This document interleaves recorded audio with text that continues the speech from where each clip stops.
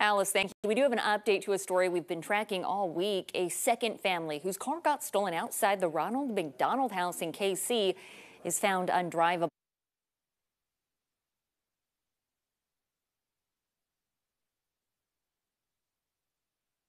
and several items stolen. She was staying at the Ronald McDonald House as her son Ethan battles cancer he was actually a little bit angry and felt like he was being a little, you know, protective of mom. And and he thought, I, just, I can't believe they took my mom's car, you know. And he's just, um, so he was a little upset, a little bit angry about it, but um, but he knows now that we got it back, so he's really happy. She says the plan is to get the car fixed on Monday.